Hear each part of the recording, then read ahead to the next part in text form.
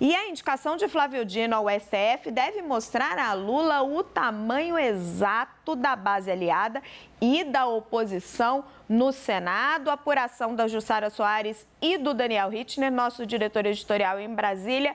Jussara, como que está esse caminho do Dino no Senado até a cadeira no STF?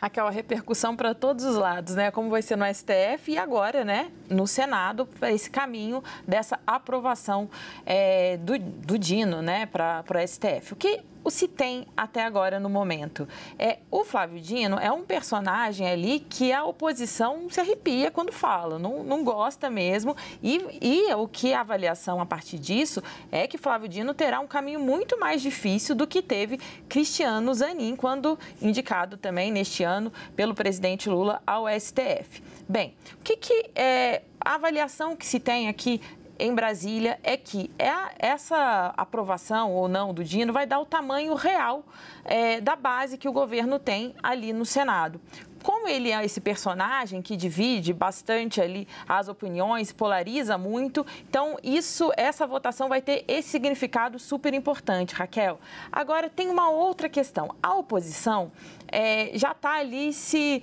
é, mobilizando, diz que vai fazer ali é, frente, está fazendo seus cálculos. Por enquanto, voto certo contra o Dino, já segundo me falaram, são 30, 32. Acham que tem espaço para buscar um pouco mais de votos ali contra o Dino.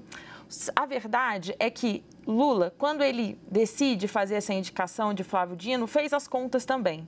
E aí ele recebeu algumas garantias de que Dino tem espaço e fôlego para passar ali no Senado. O que, para ser aprovado, né, para ser realmente, para ficar com essa vaga na corte, ele, o Dino precisa ser aprovado por 41 dos 81 senadores hoje no plenário. Então, uh, o presidente do Senado, Rodrigo Pacheco, prometeu ali um esforço para fazer, é, votar todas as indicações ali próximo do, de, da, da, ainda na primeira quinzena de, é, de dezembro, e isso tudo vai nos dar esse resultado que o governo vai ter uma clareza um pouco maior da sua base, da sua força ali no Senado, porque Dino foi é, é esse personagem que polariza muito e que se contrapõe o tempo inteiro ao bolsonarismo que está ali prometendo dar trabalho. Dizem assim, ó, pode até passar, segundo eles, até os mais, os mais realistas dizem é possível que passe, a gente vai fazer um esforço, vamos dar, tentar dar trabalho,